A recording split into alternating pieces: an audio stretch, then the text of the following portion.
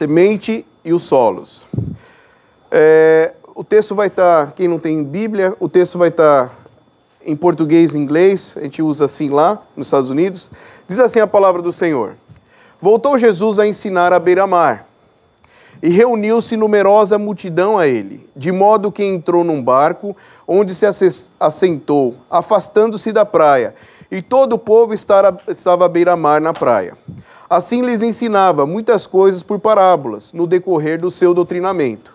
Ouvi, eis que saiu o semeador a semear. E ao semear, uma parte caiu à beira do caminho, e vieram as aves e a comeram. Outra caiu em solo rochoso, onde a terra era pouca, e logo nasceu, visto não ser profunda a terra, saindo, porém, o sol, a queimou, e porque não tinha raiz, secou-se. Outra parte caiu entre os espinhos, e os espinhos cresceram e a sufocaram, e não deu fruto. Outra, enfim, caiu em boa terra e deu fruto, que vingou e cresceu, produzindo a 30, a 60 e a 100 por um. E acrescentou: Quem tem ouvidos para ouvir, ouça. Quando Jesus ficou só, os que estavam junto dele, com os doze, o interrogaram a respeito das parábolas. E eles lhe respondeu: A vós outro vos é dado a conhecer o mistério do reino de Deus.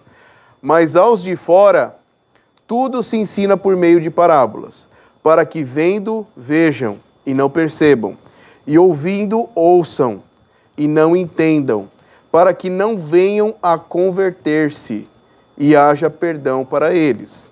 Então lhes perguntou: Não entendeis essa parábola e como compreendereis todas as parábolas? O semeador semeia a palavra.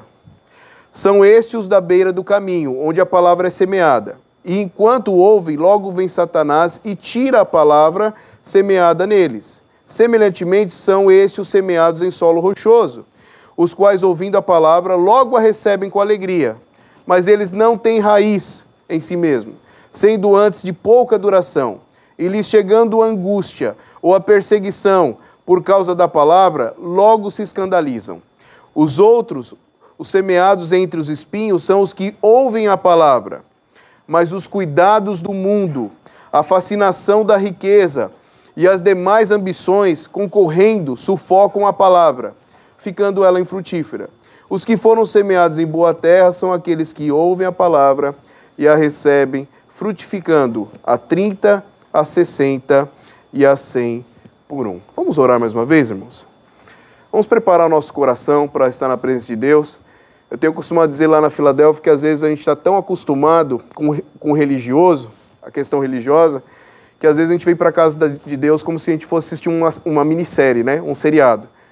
E a gente às vezes é assim mesmo, a gente até avalia como seriado, né? Ah, hoje foi bom, ah, hoje foi fraquinho, hoje foi emocionante. Mas nós não estamos assistindo um seriado, né? Nós estamos na presença de Deus. E a palavra de Deus nos ensina que quando ela é fielmente interpretada, é Deus falando aos nossos corações. E por isso a gente tem que se preparar para se encontrar com Deus, para ouvir a voz dele. Então vamos nesse momento orarmos ao nosso Deus, nos preparando para ouvir a sua mensagem.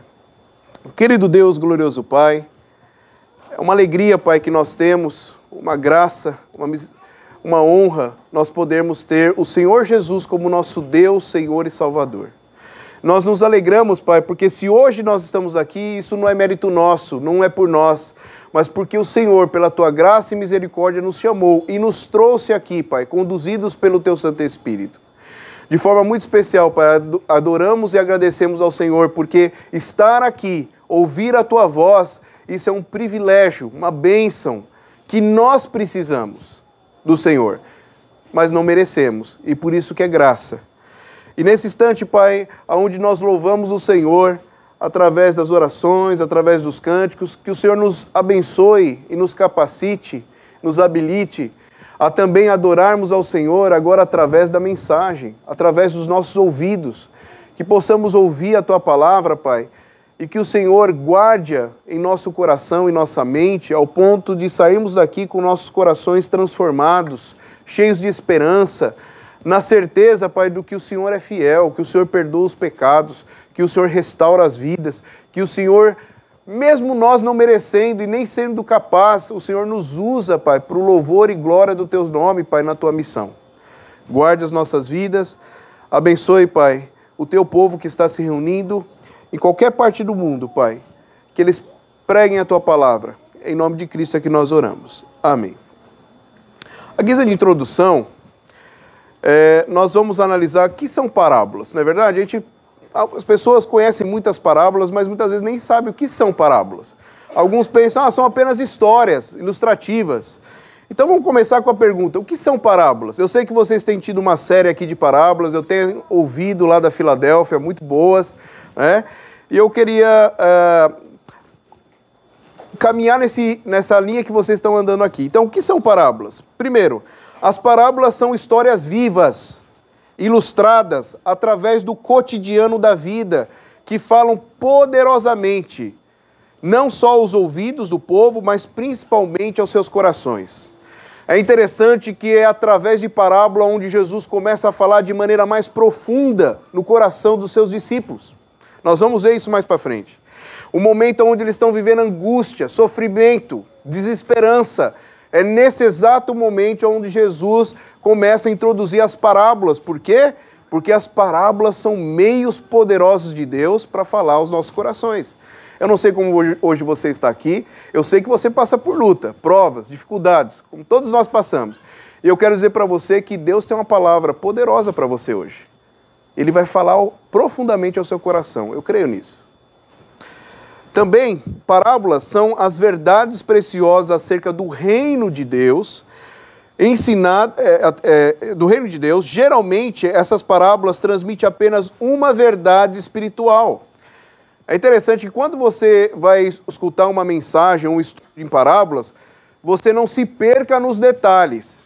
É, eu preguei lá na nossa igreja, na Filadélfia, recentemente, a parábola do bom samaritano e fiz a interpretação de um dos pais da igreja, se eu não me engano, Orígenes, ele começa a, a colocar lá cada interpretação, né? Quem era quem, né? O homem caído é, representava aquele homem que estava morto, aí uh, a queda era ele caído lá, o burrinho era o missionário, e ele começou a dar alegoria, né? Ele começou a fazer por alegoria e colocar cada coisa lá. Ou seja, você se perde nos detalhes e esquece o essencial.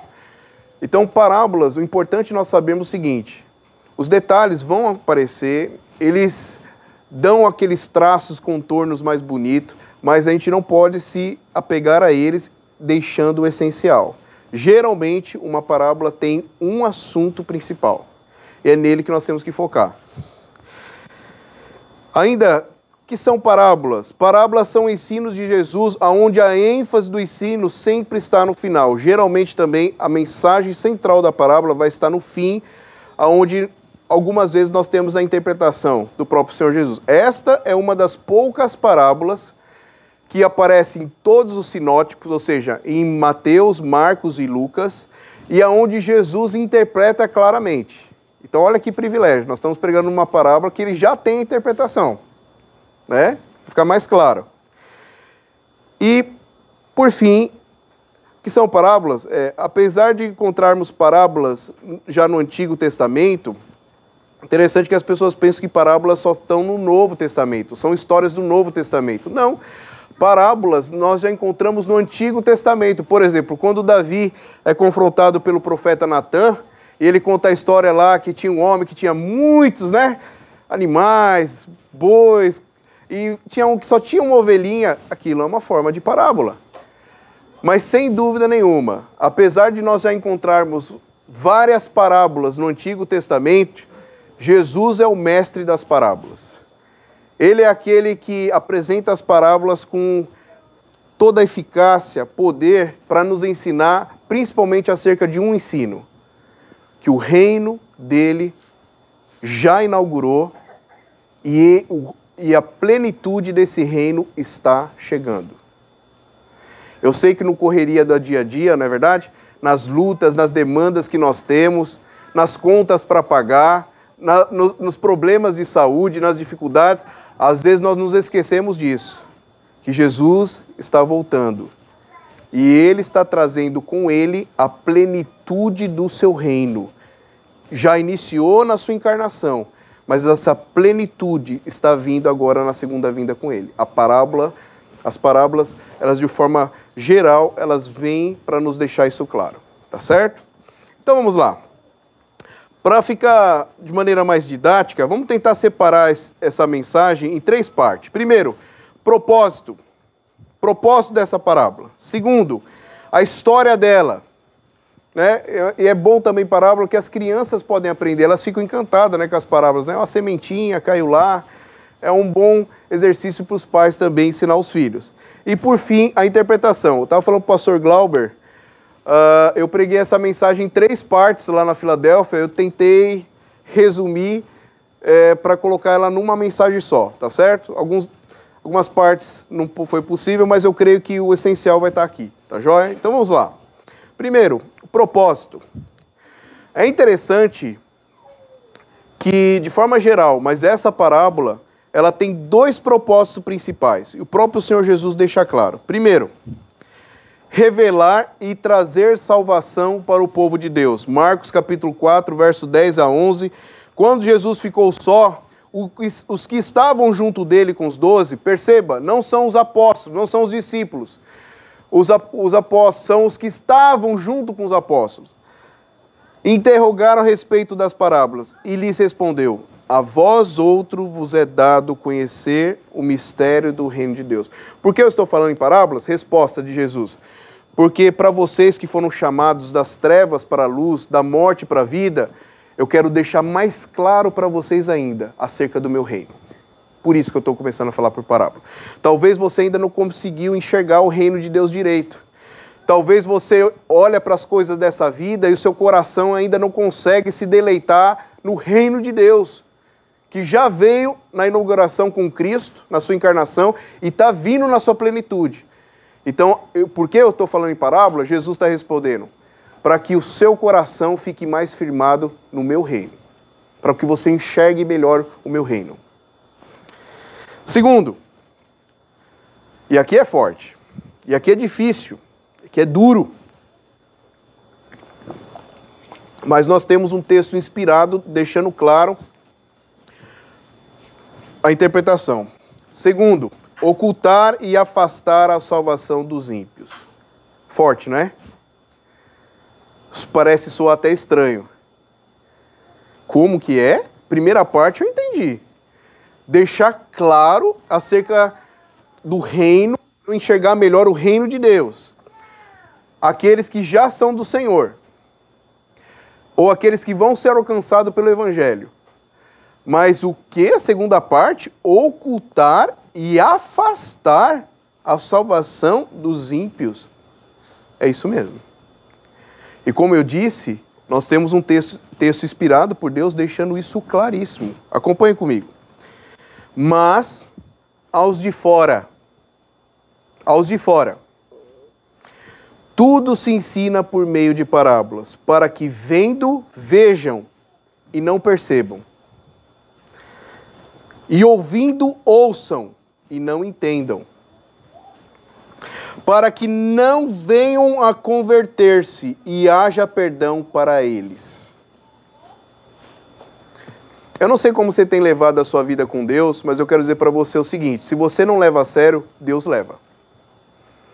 E essa parábola deixa claro isso.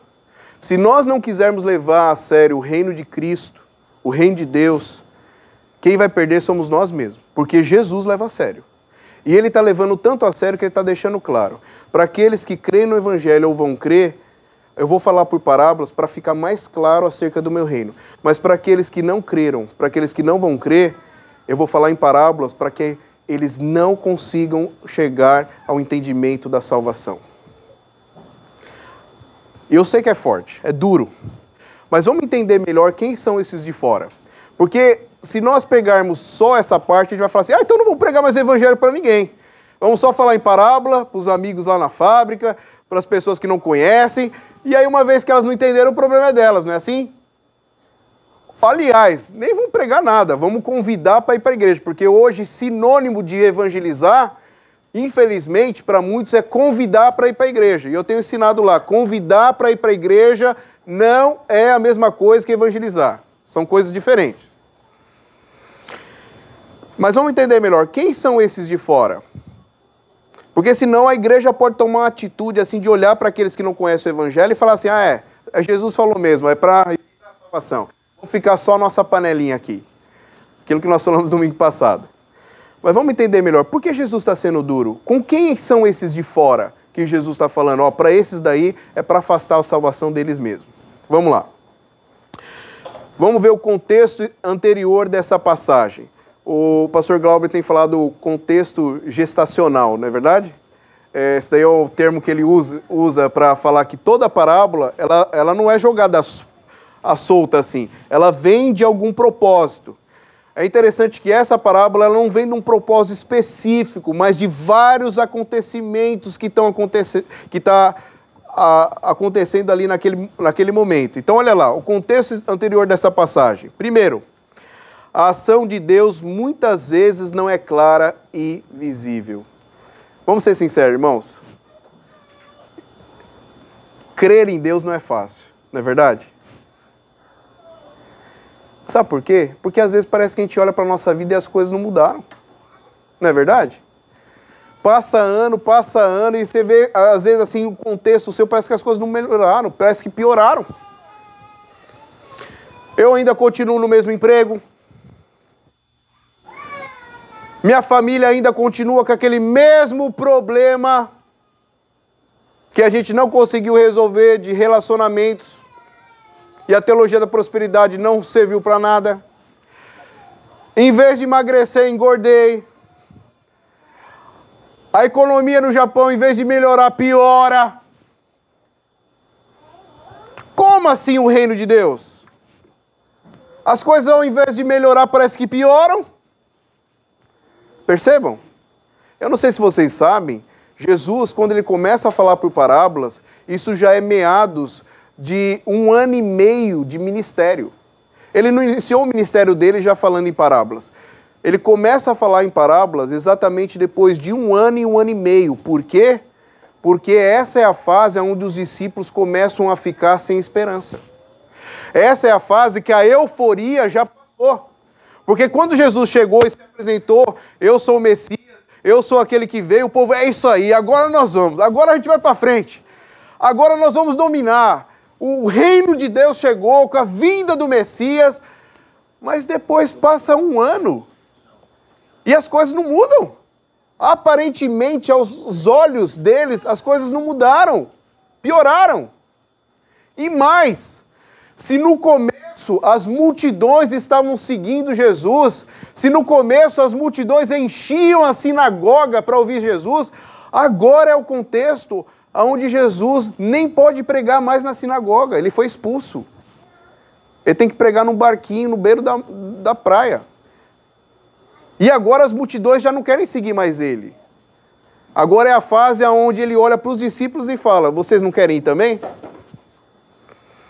Então, como enxergar o reino de Deus no meio da crise? Como enxergar o meio de Deus se, ao invés de parece crescer, está diminuindo? É difícil, não é? Não é fácil. Nós vivemos essa tensão, nós vivemos essas lutas. Jesus está pregando em parábolas depois de um ano, um ano e meio, e os discípulos já estão em crise. Eles olham para o lado e agora começa a ter até uma desconfiança. Será que ele é mesmo o Salvador? Será mesmo que nós podemos confiar em Deus? Eu quero dizer algo importante para você aqui hoje. Se você tem essas dúvidas no seu coração, presta atenção. Não significa que você não seja crente. Não significa que você não aceitou o Evangelho. Porque na caminhada com Cristo, as dúvidas vão surgir. Mas deixa eu falar um negócio para você, importante. Esse é o ponto. Quando as dúvidas chegarem, as dúvidas não são sinais para você se afastar. Pelo contrário, as dúvidas muitas vezes são meios de Deus falando assim, ó, chega mais perto.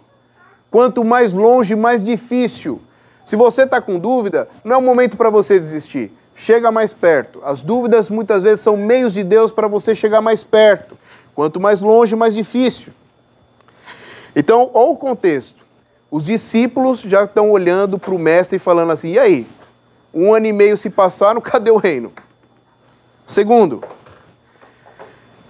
os discípulos começam agora a ficar em crise. Eles não só olham e falam, cadê o reino? Eles começam agora a achar que eles estão perdendo tempo. Já se passou. Eu não sei quantos anos tem os, os irmãos estão mais tempo aqui na igreja, mas chega uma hora que cansa, não cansa? Prepara a cadeira, monta as coisas. E pior, as pessoas não vêm. E, e mais, além das pessoas que costumeiramente não vêm, parece estar diminuindo. Você entra em crise. E sobra para quem? Para aquele homem ali e o pastor Carlos que está em Guifo. A gente entra em crise. Terceiro, os judeus ainda estavam debaixo de Roma. Peraí, esse homem falou que ele veio instalar o reino dele. Ele disse ser o próprio Messias, ou seja, o próprio Deus encarnado, mas ainda nós estamos sendo subjugados por Roma. Como assim? Lembrando que o judeu tinha uma ideia de um reinado físico de Jesus, que ele ia vir derrubar Roma e instalar no, o novo Israel. E não. Aliás, isso que é fantástico, né? Geralmente, quando para você instalar um, um rei para estabelecer o reino dele, ele tinha que derramar o sangue de várias pessoas, não é verdade? Para instalar o reino dele. Jesus é o único reino que ele vem ao mundo e ele derrama o seu próprio para instalar o reino dele. Aliás, não há nenhum Deus em nenhuma religião aonde quem faz o sacrifício não é o adorador, é o adorado. É ele que vem e se sacrifica por nós. Judeus ainda estavam debaixo de Roma. Quarto, Jesus começa a ser perseguido pelos líderes judaicos. Peraí, esse homem veio, falou que ele veio instalar o reino de Deus, mas a liderança da igreja está indo contra eles. Tem coisa errada. Pensa tudo isso no coração e na mente dos discípulos. Mas ainda, como se não bastasse, nem os da casa de Jesus mais confiavam nele. Olha lá o texto, Marcos 3, 21. E quando os parentes de Jesus ouviram isso, saíram para o prender, porque diziam: está fora de si. Presta atenção nisso. Os parentes de Jesus, ninguém fala que isso é a sogra, né? Parente é sogra também é parente, né? não tem sogra, né? Essa é pegadinha. Né? Mas alguns parentes de Jesus começam a falar: peraí, esse homem está doido. Porque ele está um ano e meio falando: o reino está próximo, o reino está próximo, o reino está próximo. E as coisas, aos nossos olhos, ao invés de melhorar, piora. Está fora de si, está louco. Surtou. Vamos pegar ele lá, que ele. Vamos prender ele. Consegue enxergar o cenário é nesse contexto que Jesus começa a ensinar em parábola. Não só os discípulos, mas até os da casa dele já não estão confiando mais nele. Volto a dizer, eu não sei qual fase a igreja está aqui, de ânimo, de avanço, ou está up e down, porque a plantação de igreja tem um up e down. Os momentos bons, momentos difíceis. Mas eu quero dizer para você, se, é, se você está vivendo um momento down, eu quero dizer para você, não desanime. Porque isso acontece. Aconteceu com os discípulos. Aconteceu com aqueles que estavam mais próximos de Jesus. Não desanime, pelo contrário, ouça essa parábola, que essa parábola vem com o propósito de te animar de novo. Tá certo? Vamos lá. Sexto, Jesus é chamado de próprio Satanás. Agora a gente começa a entender aqui. Quem são aqueles de fora? Quem são aqueles de fora? Olha lá os discípulos, se os discípulos e os da casa de Jesus já não estavam crendo nele, dá para vocês terem uma ideia dos líderes judaicos e do povo, da multidão? Agora, olha que interessante, aqui entra numa fase de ódio a Cristo já elevado. Porque a primeira fase é o desprezo. Tem gente que fala assim: ah, eu não sou nem contra nem favor. Olha, o muro é do diabo. Aquele que não ajunta, espalha. A Bíblia deixa claro. Se você não está em Cristo, jaz no maligno. E agora o povo, agora além de não confiar em Jesus, já olhar para ele e falar: esse cara tá doido, está falando de algo que a gente não está vendo, não está enxergando, está falando um ano e meio que o reino está próximo, olha lá, estão passando por lutas, provas. Agora eles começam uma segunda fase mais intensa. Agora eles começam a blasfemar contra Jesus. Espera aí. Sabe o quê? Esse cara não tá doido não. Esse cara não surtou não. Na verdade, esse cara aí nem de Deus ele é, ele é de Satanás. Os escribas que haviam descido de Jerusalém diziam: Ele está possesso de Beuzebu. É pelo maioral dos demônios que espelha os demônios. Veja bem, é nesse contexto onde Jesus vai começar a ensinar essa parábola. As pessoas estão olhando para Jesus, além de não confiar em Jesus, está falando assim: ó, na verdade, nem de Deus ele é, ele é do diabo. Aliás, ele é o Senhor dos, o Senhor das trevas. Por isso que ele consegue expelir demônios. E aí, por fim, a blasfêmia contra o Espírito Santo. Veja, está tudo nesse contexto. Marcos 3, 28 e 29. Eu só estou seguindo versículo por versículo. Em verdade vos digo que tudo será perdoado aos filhos dos homens, os pecados e as blasfêmias que proferirem. Mas aquele que blasfemar contra o Espírito Santo não tem perdão para sempre, visto que é réu do pecado eterno. Eu não sei vocês, mas quando eu comecei minha caminhada cristã, eu era um adolescente, 16 anos, e quando eu, eu ouvi falar, antes de ler na Bíblia, que tinha um pecado que era imperdoável, eu falei, meu Deus, eu tenho que me ater nesse, porque o resto. o, o, resto Deus perdoa. Então, qual que é o pecado imperdoável? Porque esse aqui é que eu vou me esforçar. Os outros a gente vai levando, né? Sabe como que é, né? Os outros a gente vai levando, vai ter perdão, mas esse daqui é imperdoável. Mas olha que interessante, gente. Algumas pessoas ficam assim: qual que é o pecado imperdoável? Será que eu já cometi esse pecado imperdoável? O que é blasfêmia contra o Espírito Santo? Blasfêmia contra o Espírito Santo é aquele que jamais vai crer no Senhor Jesus. É aquele coração que ouve, ouve, ouve, ouve, ouve a mensagem, pode até frequentar a igreja, mas ele ouve, ouve, ouve, ouve, mas nunca se rende a Jesus de verdade. Isso é blasfêmia contra o Espírito Santo. Por que blasfêmia? Porque rejeita a obra do Espírito. Blasfêmia contra o Espírito Santo. Então, agora está fazendo mais sentido para vocês? Quem são os de fora que Jesus está falando? Olha, eu vou pregar para vocês que creem, eu vou pregar em parábolas, para ficar mais claro acerca do meu reino. Mas para os de fora, quem são esses de fora? Coração duro. Pessoas que já ouviram, já ouviram, já ouviram e não se rende a Jesus. E eu quero fazer uma pergunta para você, pessoal, pode responder para você mesmo. Como que você reage a uma mensagem que é pregada? Quando Deus está falando? Você acha bonitinha? Você acha legalzinha? Ou você encara como mensagem de Deus falando para você que você tem que levar a sério? Eu vou falar um negócio para você não há algo, não há nada mais perigoso do que estar frequentando uma igreja e ouvindo mensagem dia após dia, domingo após domingo e continuar do mesmo jeito. Se você olhar para o contexto, aqueles que são os de fora aqui que estão coração duro são os religiosos. Publicanos, os fariseus, os líderes religiosos. Então eu questiono você, qual a sua postura quando você vem para o culto? Porque é um perigo, é um risco. Se você vem por vir, eu vou dizer até um negócio para você doido. Não venha. Porque a chance do seu coração se endurecer ao tal ponto de você ser como essas pessoas aqui que estão blasfemando contra Jesus é maior estando vindo aqui do que fora. Por isso que as coisas com Deus ou você leva a sério ou não leva. Ou você tem comprometimento ou você não tem. Não há nada mais perigoso, e o Hernandes Dias Lopes diz isso muito constantemente, do que você se acostumar-se com o sagrado.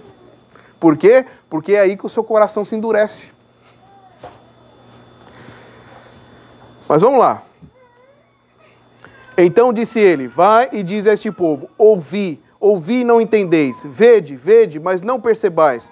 Torne insensível o coração deste povo, endurece-lhe os ouvidos, fecha-lhe os olhos, para que não venham ele a ver com os olhos, a ouvir com os ouvidos e a entender com o coração, e se converta e seja salvo. Na verdade, o que o Evangelho de Marcos está fazendo aqui é citando quase que literal o profeta Isaías. E o que o profeta Isaías está fazendo? Isaías está pregando numa missão aonde Deus está trazendo julgamento. Por quê? Porque quem era o povo de Deus nessa época de Isaías? Era o povo que já tinha perseguido os profetas, já tinha matado os profetas, que já tinha ouvido a mensagem e não levado a sério. E aí chega a hora que Jesus fala assim: ó, basta, chega. Minha palavra não é lixo para ficar sendo jogada assim. Eles não querem se converter, eles não querem ouvir o evangelho, não querem se render, agora é condenação. Parece até amirniano, mas não é não. Porque uma coisa que a gente tem que deixar claro, que a soberania de Deus não anula a responsabilidade humana. A alma que pecar, essa morrerá. Deus não é culpado se você não crê, não. E essa palavra isso. Cada um está indo para o inferno pela sua própria dureza de coração.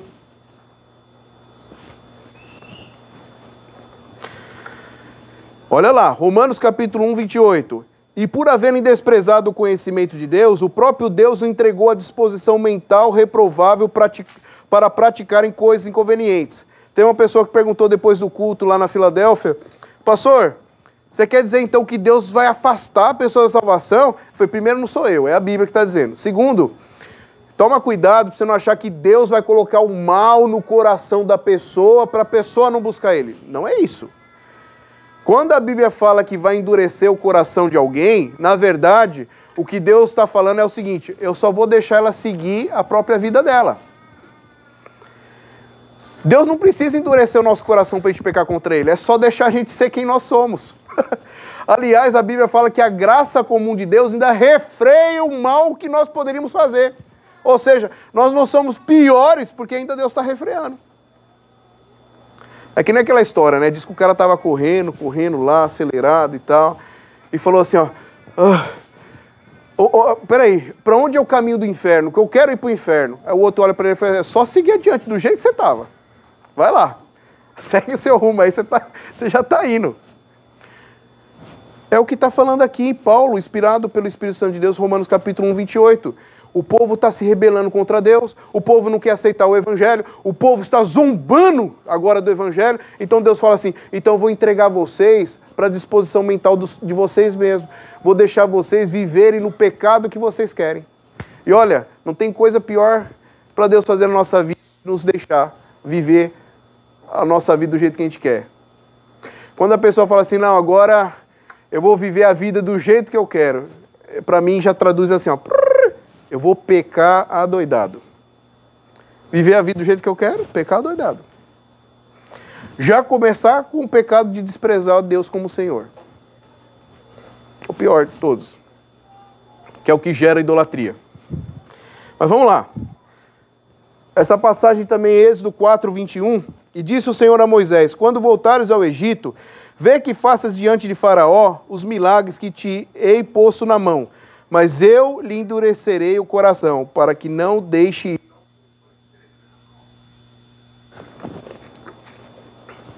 Deus está falando, ó, eu lhe endurecerei o coração. Poxa, Deus endurece o coração.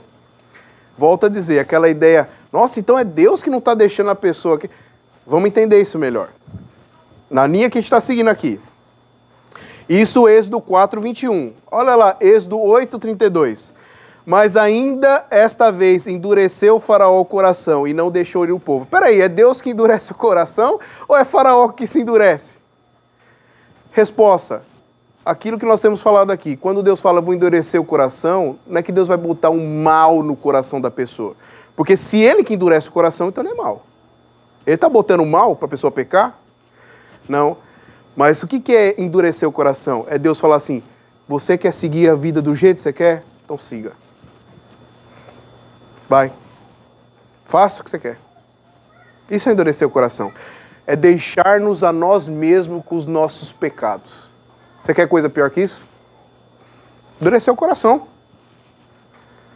Deus não é o autor do mal. Deus só está, vai, vai seguindo o seu rumo. Peca mesmo, que é isso que você sabe fazer sem mim. Só pecar. E aí, João Calvino diz sobre isso o seguinte: esses ouvintes devem ser confrontados com a responsabilidade de sua própria cegueira e impenitência.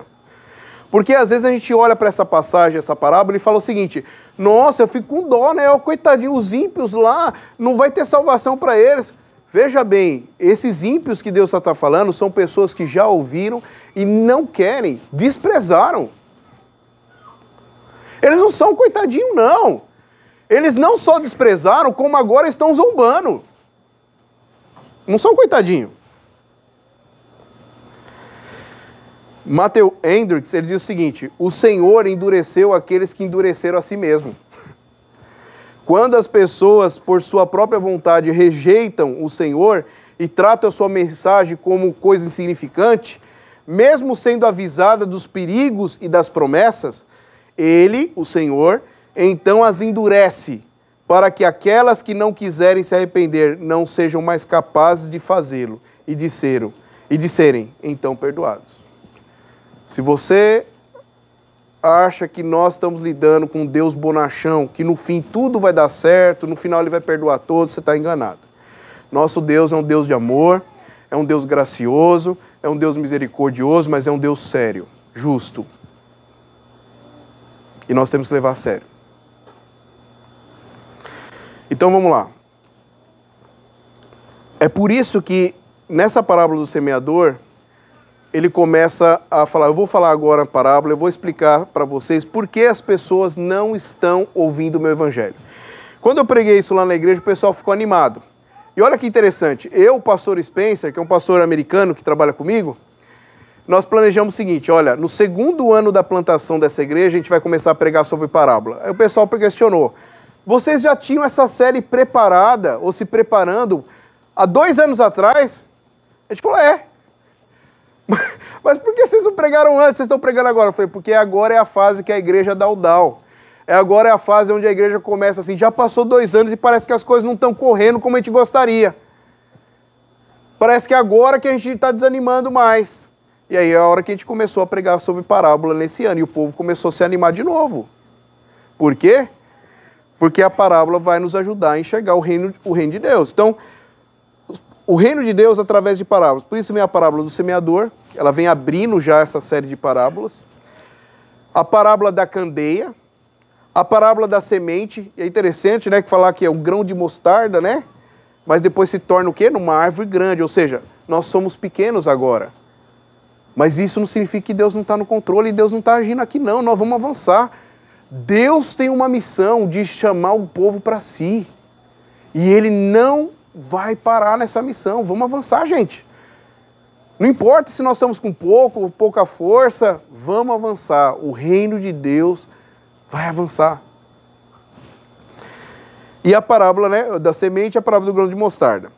Então, qual que é o propósito dessa parábola específica do semeador? Além de apresentar o reino de Deus de forma geral, é explicar por que as pessoas vêm para cá, ouvem o evangelho e não se convertem. Você já se questionou isso? Eu não sei vocês, mas as pessoas lá na nossa igreja, ou é para mim ou para o pastor Spencer, elas vêm e falam assim: Pastor, por que as pessoas passam pela nossa igreja e não ficam? É difícil, não é? Você já fez essa pergunta para o seu pastor? Você já fez essa pergunta para você mesmo? E olha, às vezes pode ser que é problema nosso. Pode acontecer. Mas olha que bênção, essa parábola vem para te ajudar a esclarecer que nem sempre as pessoas vêm e não voltam mais, que é culpa da igreja, ou culpa do pregador, ou culpa nossa. A parábola do semeador, na verdade, ela está respondendo para os discípulos a pergunta: Mestre, se o Senhor é o próprio Deus, se o Senhor está pregando sobre o reino durante um ano e meio, por que as pessoas, ao invés de te seguir, estão te deixando? E aí entra essa parábola.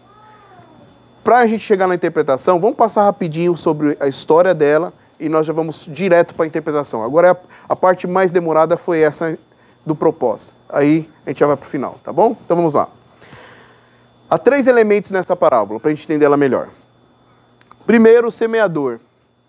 Se, ter, segundo, a semente. Terceiro, o solo. O semeador aqui é o próprio Senhor Jesus. E olha que interessante, ao mesmo tempo que ele é o semeador, ele nos chama para ser semeadores. Perceba, olha que legal. Ao mesmo tempo que nós somos o alvo da missão de Deus, Deus também nos usa como instrumentos para essa missão avançar. Quem é o semeador? Jesus Cristo é o general. E nós somos os soldados. Nós todos nós temos que semear. Todos nós somos chamados para pregar o evangelho. B, a semente. O que é a semente? É a palavra de Deus poderosa, que quando aplicada pelo Espírito Santo no coração, não há quem resista. Não é verdade? E os solos é o que nós vamos demorar mais tempo aqui para ver as pessoas. Agora, presta atenção, no início aqui da chamada de Jesus, ouvir. Esse i aqui é imperativo, é uma ordem. Jesus não está dando uma sugestão para você, Jesus não está falando, olha, se você ainda não estiver cansado, então presta atenção. Não, Jesus está sendo muito objetivo e claro, olha, presta muita atenção, o que eu vou falar é sério. Ouve, é uma ordem, ouvir. Eis que saiu o semeador a semear, e ao semear, uma parte caiu à beira do caminho. Está aí, o semeador, a semente e os solos, certo? Há quatro tipos de solos. O solo endurecido, que saiu à beira do caminho, e se eu não me engano é Mateus que vai falar que as pessoas pisavam ainda nesse solo, na semente, fazia ficar duro. E, é, o, e aí vinham os, os pássaros e tomavam. O solo rochoso, o solo espinhoso, ou também chamo ele de solo sufocado, vocês vão ver por quê. E o, por último, o solo frutífero. Tá joia? Então vamos lá. Solos. Que são solos? Vamos lá. A parte final agora. A interpretação. Quais são os solos? Se o semeador está claro, se a semente está claro, então vamos para a parte final agora ver quais são os solos. Que tipo de solos são? Primeiro, o solo ou ouvinte endurecido. São esses os da beira do caminho, onde a palavra é semeada. enquanto a ouvem, logo vem Satanás e tira a palavra semeada neles. É o coração duro, onde está Satanás, onde de onde Satanás rouba o evangelho. Eu não sei se vocês já pararam para perceber, mas o lugar geralmente onde mais semeada a palavra é o momento do culto. Não é verdade? Aqui, ó semeador saindo a semear. A palavra está sendo semeada. E não sei se vocês perceberam que todo culto é uma batalha, irmãos. É uma batalha espiritual. Porque às vezes a gente pensa que aqui é, nós não temos ataque. Pelo contrário, nós temos muito ataque. Zacarias vai falar que enquanto o sumo sacerdote Esdras está pregando ali, Satanás está no púlpito do lado dele. Eu sei que tem uns satanás que estão nos púlpitos aí também, né? Mas no caso lá, Satanás estava do lado dele, tentando atrapalhar. E presta atenção aqui, ó. Cada vez que a palavra está sendo pregada, ele está aqui, ó, arrebatando de corações. É por isso que muitas vezes a pessoa vem para cá e ela, do jeito que ela vem para cá, ela e saiu, acabou. É por isso que nós devemos orar, nos preparar. A cada culto devemos orar antes, chegar aqui, procurar orar, porque cada culto é uma batalha, irmãos. Nós estamos numa batalha e nessa batalha não tem campo neutro. É batalha. Quando o seu pastor está pregando aqui, ora por eles. É batalha. Para esse cara subir aqui e pregar é batalha. E as coisas acontecem. Quando a gente estava começando a formar nosso grupo base lá na igreja, rapaz, chegava domingo de manhã que vinha de mensagem do nosso grupo base, assim, as pessoas, ah, briguei com a esposa, o outro, ah, briguei também, tá, tá, tá. Acontece. É o inferno se levantando. É assim mesmo. Nós não estamos abrindo uma padaria, nós não estamos abrindo um mercado. Nós estamos plantando uma igreja de Cristo, o inferno inteiro vai se levantar. Mas esse cara aqui, eu entendo é que é aquele cara que ele ouve o evangelho, mas ele está aqui na cabeça assim pensando o que, que eu vou fazer depois do culto. Ele nem consegue se concentrar. Ele está aqui, mas a cabeça dele já está lá fora. E nós temos que tomar cuidado. É possível você estar domingo após domingo e a palavra não está tocando. Segundo solo, o solo ou ouvinte rochoso. Semelhantes são esses os semeados em solo rochoso, os quais, ouvindo a palavra, logo recebem com alegria. Mas eles não têm raiz em si mesmo, sendo antes de pouca duração. e lhes chegando a angústia ou a perseguição, ou por causa da palavra, logo se escandalizam. Eu quero ser discípulo, mas não calculo o preço de seguir Jesus. Conhece pessoas assim? Elas chegam na igreja, elas ouvem a mensagem, que mensagem maravilhosa, que mensagem maravilhosa. Olha, olha que Cristo. É isso mesmo, é isso que eu quero para minha vida. Aí nas escadas aqui já descendo, chega um amigo e fala assim: Olha, eu tenho um barco legal aí que a gente fazer, cara, para ganhar assim é, 30 mil ienes por dia. 40 mil ienes por dia, só que não, é de domingo. O cara pega, vamos. Ele recebeu com alegria. Mas ele não tem raiz chegou uma proposta melhor, chegou uma coisa que já distraiu ele, ele vai. Tem pouca duração, não tem substância, não tem preparo. Chegou a angústia, chegou a perseguição por causa da palavra, logo escandaliza, eles vão embora. Terceiro solo, o solo ouvinte espinhoso ou sufocado. Os outros semeados entre os espinhos são os que ouvem a palavra, mas os cuidados do mundo, a fascinação da riqueza e as demais ambições concorrendo sufocam a palavra, ficando ela infrutífera. Olha, eu já fui imigrante aqui e estou sendo lá nos Estados Unidos. Eu deixo eu falar um negócio para você, não muda nada. Do jeito que imigrante é aqui, ele é lá. E eu vou falar que é triste. Às vezes, mesmo imigrante crente, ele tem os mesmos valores, as mesmas prioridades, a mesma visão das pessoas que não são. Porque acho que ele usa a ideia de imigrante para, tipo assim, eu posso ter outros objetivos aqui, porque Deus vai compreender, tá certo? Deus sabe que eu estou me sacrificando, sair do meu país, então Deus sabe que aqui eu vou dar outras prioridades, mesmo que não for a que Ele está falando para eu dar, eu vou dar. E ele vai entender, porque Deus entende, não é assim? É aquela ideia que eu falei domingo passado de Deus se acomodar a nós e não, a ele, e, nós, e não nós a Ele. É o risco. É o risco. E aqui esse homem fala. É aquela pessoa que aceita Jesus. É aquela pessoa que, não, eu quero caminhar com Jesus. Mas ele começa a ver que para caminhar com Cristo tem um preço a pagar. E não é que você vai pagar o preço para comprar sua salvação. Como o irmão Renato acabou de dizer ali, explicou muito bem. Não. Jesus já pagou o preço por tudo isso. Mas seguir a Cristo tem um preço, sim. Tem um negar-se a si mesmo. Tem tomar a cruz. Tem aquilo que o apóstolo Paulo falou no domingo passado, sacrifício, um sacrifício na missão, me esforçando deste modo, como? Sacrificialmente para seguir a Cristo. E aí quando chega a angústia, quando chega o aperto, essas pessoas abandonam. Uma pessoa chegou para mim e falou assim: Pastor, eu fico preocupado. E aí, eu envolvo mais com a igreja ou faço um pé de meia? Eu falei: Pé de meia? Eu falei assim: Você está modesto. Se eu pudesse fazer o corpo inteiro, né? De meia. Que só um pé não, né? Faz o corpo inteiro, né?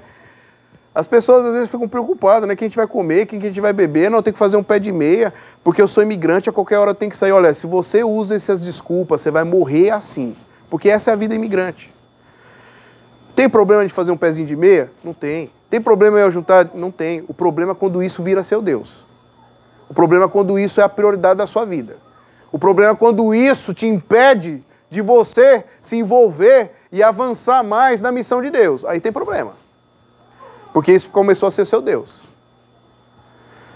E o que o texto está falando aqui, que essas pessoas, elas até recebem com alegria, mas aí começa a vir as coisas do mundo, é, o dinheiro ali, é, o outro está comprando casa, eu estou de aluguel ainda, e, e as coisas do mundo começam a sufocar, sufocar, sufocar, ao ponto da pessoa chegar quase como um azaf lá e falar assim, ó, acho que é inútil eu ser cristão, é melhor mesmo ser aqueles que não seguem, parece que a vida deles é melhor que a minha.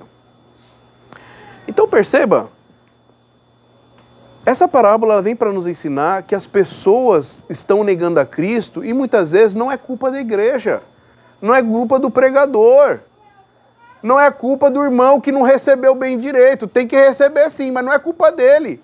As pessoas muitas vezes vão chegar aqui e vão embora, ou vão ouvir o evangelho e vão desprezar por causa do próprio coração dela pecaminoso. Ou o coração endurecido, ou coração rochoso, ou coração espinhoso. Jesus está olhando para os discípulos e aquela pergunta deles, mestre, mas por que as pessoas não estão te seguindo? Por que as pessoas não estão caminhando? Já faz um ano e meio que o senhor está pregando. Jesus responde, por quê? Porque as pessoas estão seguindo os corações dela. Tem coração endurecido, tem coração espinhoso, tem coração rochoso, tem coração sufocado. Em outras palavras, pelos pecados delas, elas estão abandonando. Eu vou buscar a Jesus, mas primeiro vou buscar as coisas desta vida. É esse grupo aqui. Então vamos lá. Último solo. O solo ou ouvinte frutífero. Os que foram semeados em, em, boa terra são aqueles que ouvem a palavra e recebem, frutificando a 30, 60 e a 100 por um. Dizem que uma colheita boa, uma colheita muito boa, ela é 30 por um. Você uma semente e recebe 30. 60 por 1 já era algo assim, se Deus abençoar. Olha que interessante. Ao mesmo tempo que Jesus está falando assim, ó, você sabe por que as pessoas estão ouvindo o evangelho que nós estamos pregando e elas não estão reagindo?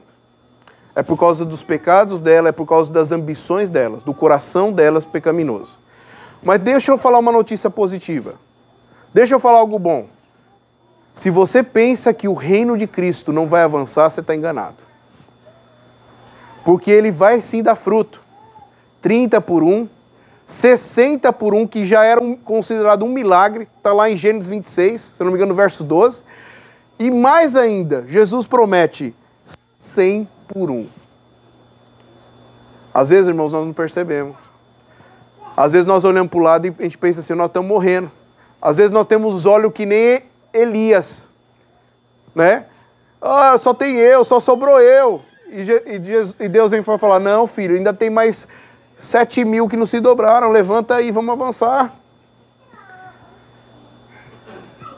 Eu não sei, volto a dizer, qual fase que a igreja está passando. Os pastores me falaram um pouco, mas vocês sabem melhor.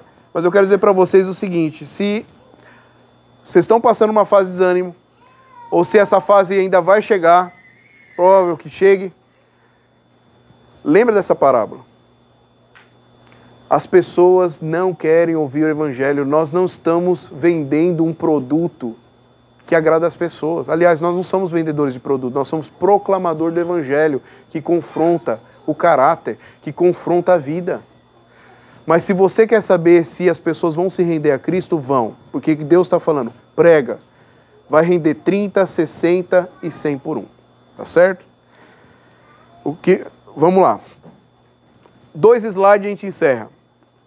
Qual o propósito dessa parábola? Para ficar mais claro de novo agora no final. Primeiro, o motivo pela qual a maioria não crê em Jesus. Primeiro, explicar para os discípulos por que a maioria das pessoas que vêm aqui não estão voltando por causa dos pecados dela. Elas estão negando o Senhor Jesus por causa delas. É interessante que é, quando eu estava pregando essa parábola lá, alguns irmãos vieram chorando depois do culto lá na nossa igreja, conversando, falou, pastor, que alívio deu no meu coração, sabe? Porque eu pensei assim, ó, o que, que a gente tem que fazer de melhor ainda para as pessoas virem? Nós estamos procurando se esforçar, nós estamos indo atrás. E lá eu ensino as pessoas a ir atrás das pessoas para pregar o evangelho lá na casa delas. E as pessoas parecem que não respondem. Eu fiz um quadro eu peguei assim, ó, em três meses, eu peguei todas as pessoas que a gente estava tendo contato, estudo na casa, é, que visitaram a igreja durante três meses. Vocês não vão acreditar. Em três meses já tinha passado na nossa igreja, o contato, o estudo bíblico em casa, mais de 70 pessoas, em três meses só. E quando eu mostrei isso para a igreja, eu falei: ó, a gente está orando para Deus enviar pessoas. Deus está enviando. Em três meses passou mais de 70 pessoas novas. E aí a segunda pergunta é: mas por que essas pessoas não ficam? Por que essas pessoas não se engajam? Resposta: porque algumas Deus vai chamar no tempo certo. Segundo, porque outras é que nem essa parábola. É o coração endurecido, é o coração espinhoso, é o coração rochoso. Mas vamos focar nisso? Não. Vamos focar que Deus está prometendo que Ele vai fazer a seara dele crescer. E é nisso que nós temos que pegar. Vamos pregar o Evangelho. O semeador não fica vendo o que vai, o que, que vai vingar, não. Nosso papel é semear. Semeia. Semeia. Tem uma notícia lá no, na nossa igreja, foi interessante. Teve um rapaz que falou, pastor, você dá um estudo chamado Caminhando com Jesus, quem te dá, que é assim, quem é Jesus, o que ele fez e como confiar nele. É o curso básico, é o DNA da nossa igreja. E ele pegou e falou assim, você pode dar na minha casa, que eu não gosto de ir na igreja, eu tenho trauma de igreja e tal, tal, tal. E nem... Ele falou, qualquer dia eu te falo que eu passei na igreja. Eu falei, nem me fala. Quando o cara fala assim que tem trauma da igreja, imagino que ele já passou, né? Eu falei, não precisa não, se você não quiser, fica com você, né? Eu falei, mas eu vou lá na sua casa. Aí acabamos de dar o estudo. Eu, o pastor Spencer, para ele, ele falou: Nossa, puxa, olha o evangelho. Eu nem tinha entendido o evangelho desse jeito, que legal. E quando vocês vão começar a dar o estudo aqui de novo? Quem tinha mais estudo? Ele falou assim: O quê? De novo? Não, filho, eu só dou esse estudo aí. Se você quiser, você já ouviu o evangelho, vamos caminhar junto. Passou uns cinco meses, ele me ligou. A gente já tinha até pensado, né? Esse cara ficou para lá, né? Aí passou cinco meses, ele me ligou e falou, ô pastor, é... já que vocês não estão vindo aqui mesmo, eu estou sentindo falta, eu quero caminhar. Daí eu falei, vamos caminhar. Hoje ele é um dos caras ponta firme lá da igreja, está se preparando para ser diácono, um cara muito firme. Deus chamou ele, mas não foi a hora que a gente quis, foi na hora de Deus. Então, qual o motivo da parábola? Explicar Deus está trazendo os seus. E aqueles que não estão é por causa dos seus próprios pecados. Segundo, há um remanescente fiel que ele preserva a gente. Tem muita gente que tem que pregar o evangelho. O problema é que a gente fica sempre preso nos mesmos. Vai para fora. Teve umas pessoas lá que falaram, pastor, posso chamar aquele fulano? Eu falei, não chama aquele fulano, não, chama outros. Chama sempre a mesma coisa, ela só vai lá para comer e ainda falar mal. Não, vai. Chama outro, semeia, vai para outros campos ficar jogando no mesmo solo, vai. Tem um remanescente fiel aqui, ó. C. A pregação do evangelho é o meio que Deus escolheu para chamar seu povo. Que bonito isso, não é verdade? Deus escolheu chamar pecadores como eu e você através do evangelho, através de Cristo. Que bênção, não é? E que bênção quando a gente prega esse evangelho. Falar de Cristo. Último slide que eu falei para vocês. Para pensar e refletir. Nem sempre o resultado da pregação depende do pregador. Olha, você vai começar um, um estudo bíblico na casa de alguém. Você vai começar uma igreja, o pessoal está pregando aqui. A tendência nossa é, é porque você pegou muito duro, é porque a sua mensagem foi ruim, é que você ficou gaguejando lá na frente. Olha, irmãos, deixa eu falar um negócio para vocês. Todos nós temos nossas limitações. E igreja como nossa, que está nascendo, nós vamos até mesmo para investir na vida de pessoas, para elas crescerem, para elas pregarem, para elas darem estudo. Elas vão começarem assim. Eu não comecei pregando dessa maneira. E olha que eu sou ruim ainda, tem muita coisa para aprender. Então, numa igreja que está nascendo, vai ter pessoas, nós estamos investindo em pessoas que estão pregando. Nesse período que eu fiquei fora, dois irmãos pregaram pela primeira vez na nossa igreja. E a gente tem que tomar cuidado, porque tinha uma pessoa lá na nossa igreja que falou assim, pastor, olha, não deixa qualquer. Eu sei que meninos aí estão empolgados, não deixa qualquer um pregar, não. É, porque depois as pessoas não gostam da pregação e vão embora. Eu falei, se não gostou da pregação e ela foi fiel, mas não gostou da pregação e foi embora, foi porque Deus enviou. Foi, foi embora. Agora, claro, a gente tem que treinar, preparar, mas é assim que pregadores e pessoas vão crescer, não é verdade? Então, essa parábola vem para ensinar.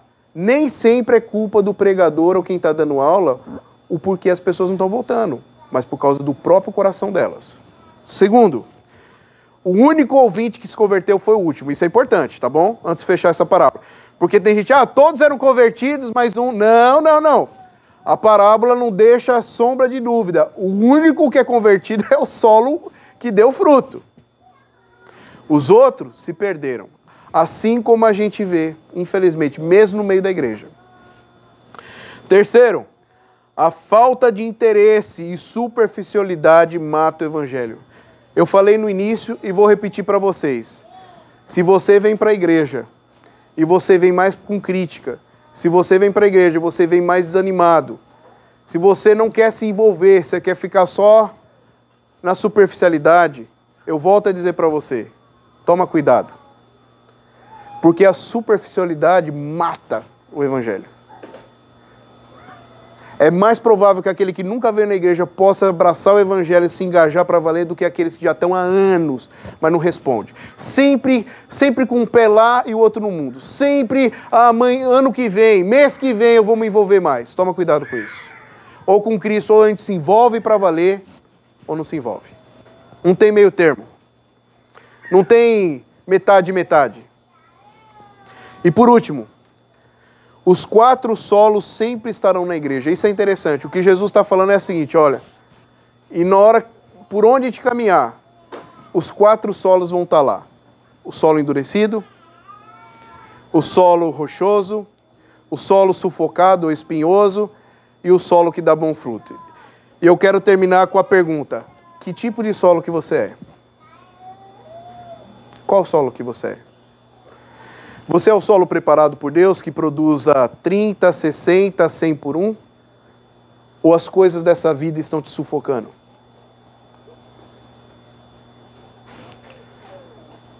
Ou as provações, as lutas da vida estão queimando a sua raiz, que nem tem quase? Ou, na verdade, a palavra é pregada, ela não chega nem perto de você, porque o inimigo vem e já arrebata do coração. Que tipo de solo que você é? Que Deus abençoe.